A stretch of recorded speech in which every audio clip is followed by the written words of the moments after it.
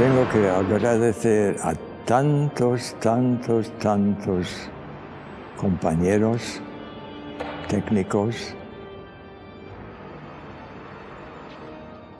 sonidistas, maquilladores, decoradores, público. Es curioso, estoy disfrutando ahora